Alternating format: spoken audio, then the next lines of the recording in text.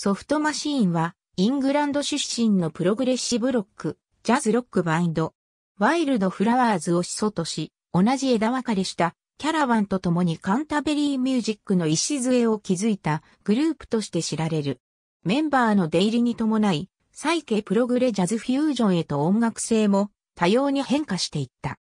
デビッド・アレン1974年、オーストラリア出身のヒッピー、デビッド・アレンは、放浪先のパリで、ビート文学の巨匠、ウィリアム・バローズと出会う。バローズとラジオの仕事などを行っていた時、ブリストル生まれのロバート・ワイアットと出会う。アレンは、ロンドン滞在時に、ワイアットの母の営む下宿に住んだりもしており、学生時代からの知り合いで、オックスフォード大学在学中だったカンタベリー生まれのマイク・ラトリッジも加わり、一つのサークルが形成されてゆく。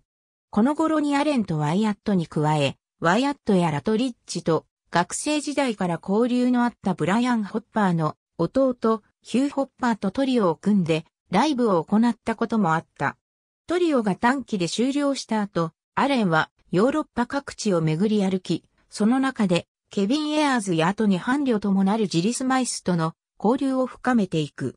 残りのメンバーは後にキャラバンとしてデビューする面々と共にワイルド、フラワーズというバンドを結成し活動する。そして1966年の夏、カンタベリーに戻ったアレンを中心に、エアーズ、ワイアット、ラリー・ノーランの4人で、ミスターヘッドというバンドが結成され、ラトリッチが合流した後に、バンド名を変更した。ラトリッチがパリのバローズに電話をかけ直接使用許可を得てつけた。その名はソフトマシーン。バローズの著書に同名のタイトルがあり、ソフトマシーンとは女性型アンドロイドのことを指していると思われる。ラトリッチはこれにインスパイアされたらしい。なお、ノーランは最初期に行われた数回のギグで脱退した。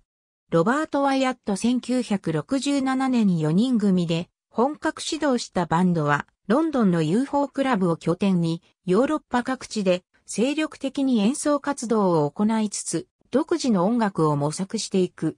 その音楽の形は、いわゆるサイケデリックポップとも呼べるものだった。ロンドンのサイケデリックシーンで注目を浴びるようになった彼らは同じく UFO クラブを中心に活動していたピンク・フロイドやジミ・ヘンドリックスらとも交流を持つようになり、ステージを共にすることもあった。1967年、パリ公演からの帰と、アレンが麻薬所持などのトラブルにより、イギリスへの入国許可が下りずそのまま脱退。この後、3人となったメンバーはギタリストを補充せず、キーボードトリオとして活動する。アレンの抜けた穴を埋めるためであろうか、ラトリッチのかねてからのジャズ思考のためか、この頃から彼の弾くオルガンの音をファズをかけて、歪ませるようになる。このような音色は、いわゆるサイケデリックに分類されていた彼らの当時の音楽にモノクロームな色彩を与えるようになる。これがカンタベリー系と呼ばれる音楽の一つの指標ともなっていく。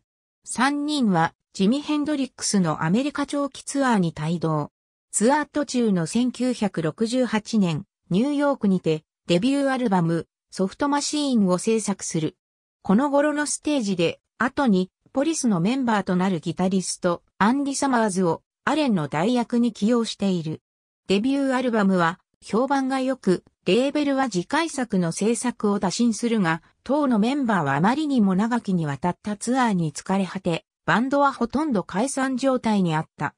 そんな状況に、嫌気のさしたエアーズは、地中海に浮かぶバレアレス諸島のイビサ島へと移住して、脱退する。活動再開を期したメンバーは、ヒュー・ホッパーを新しいベーシストに加えトリオ編成となり、1969年にセカンドアルバム、ボリューム2を制作。ジャズ志向が強く、実験音楽などにも造形の深いアバンギャルドな感性の持ち主、ホッパーの加入により、バンドはアレン・ヤーズ主導時代の再起、ポップ路線から、ホッパー・ラトリッチ主導のジャズロック路線へと変革を遂げてゆく。エルトン・リン1977年独自のジャズロックを模索し、新たに保音奏者を探していたバンドは、当時、キース・ティペットグループに在籍していたエルトン・ディーンと出会う。彼を筆頭に、KTG のメンバー5人が参加。バンドは一気に大所帯の8人編成となり、1970年に3枚目のアルバム3を制作。しかし、経済上の理由で、保音奏者はディーン一人となり、バンドはカルテット編成に落ち着く。そして1971年、4枚目のアルバム4を制作。ディーンの加入で音楽性はさらにジャズ色を強めていくことになるが、それと引き換えに、もともとアレンの影響でエピキュリアン的な感性を持っていたワヤットは、徐々にシリアスなジャズへと向かっていくバンドの中で存在感が薄れてゆく。彼のボーカル曲も3に収録されたムーン・イン・ジューンが最後となり、バンドは完全にインストゥルメンタルグループと化す。ワイアットの居場所はますます狭められることとなり、彼はこの年のうちに脱退した。公認のドラマーには、ディーンのバンドメイト、フィル・ハワードが参加し、5枚目のアルバム、5の制作を開始する。しかし、この頃からより先鋭的なフリージャズ化を施行するディーン、アンド・ハワードと、譜面化されたジャズロックを施行するホッパーラトリッチとの間に圧力が生まれるようになる。その結果、ハワードはアルバム制作中にバンドを脱退。次のドラマーとして、イアン・カーの率いるジャズロックバンド、ニュークリアスからジョン・マーシャルが加入し、アルバムは完成する。時を同じくして自分のバンド活動を優先させるために、ディーンも脱退する。なお、今日では3の発表された1970年から5発表の1972年までの時期の様々な音源が発掘され、日の目を見ていることからも、この頃をバンドの最盛期とする見解がある。脱退したディーンに代わって、マーシャルと同じくニュークリアスから転籍したのがカール・ジェンキンスである。ディーンのフリージャズ的かつスポンティニアスなインプロビゼーションとは異なり、ジェンキンスのプレイはスコアとアンサンブルを重視したものであり、その影響でバンドの音楽性は洗練された都会的な雰囲気を醸し出すようになる。また、彼のペンになる曲はミニマルミュージックの影響からか、リズムやフレーズの反復を多用し、幻想的な音像を提示するようになる。フリージャズへの接近が目立っていたディーン時代と比べ、聴きやすいジャズロックへと向かってジェンキンスがイニシアティブを握るようになっていく。ラトリッジもこの動きに追随するが、フリー志向のホッパーには物足りなかったようで、彼は1973年のロック制作終了後に脱退する。後任のベーシストには、かつて4にてゲストとしてダブルベースを演奏したニュークリアス出身のロイ・バビントンがつく。ここにおいてオリジナルメンバーはラトリッジのみ、残りはニュークリアス組が占めることになり、この4人編成で6と同じく1973年に7を制作発表。この時点でラトリッジの志向するジャズロックとジェンキンスの志向するミニマリズムとが拮抗、均衡し、独特の音世界が提示されていた。また、オルガンや電子ピアノのほか、シンセサイザーが導入されたこともバンドの音の質的変化を促した。アラン・ホールズワース1978年そして1975年に発表された収束において、バンドはアレン脱退以来のギタリスト、アラン・ホールズワースを加える。このホールズワースのギターによってバンドはフュージョン路線を進む。ファズオルガンよりも強い音圧を持つリード奏者が入ったことで、今度はラトリッジが脱退。ついに、オリジナルメンバーは完全に姿を消し、バンドはニュークリアス人脈によって乗っ取られた形になる。ラトリッジ脱退を機に、バンドはさらにフュージョン路線を邁進。アルバム1枚のみで脱退したホールズワースに代わり、元ダリル・ウェイズ・ウルフのギタリスト、ジョン・エサリッジをメンバーに迎える。また、ホーン奏者としてアラン・ウェイクマンを加え、ジェンキンスはキーボード専任となる。この編成で1976年にバンドとしては実質ラストとなるスタジオアルバムソフッツを制作、発表する。ジェンキンス流、ジャズロックの決定版とも呼べる後期の名作とも評価された。しかしその後、バビントンが脱退。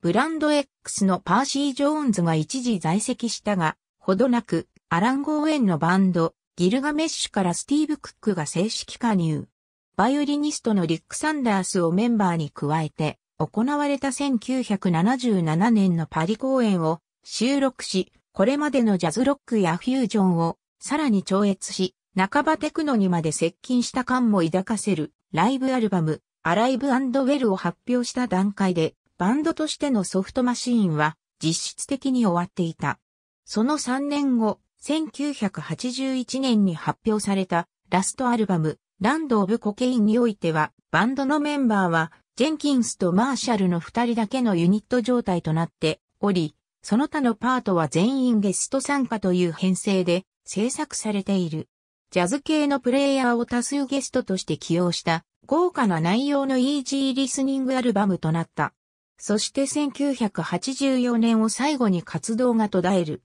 ソフトマシーンとしての活動がなくなった時期に、複数の旧メンバーが参加した活動として、下記のものがある。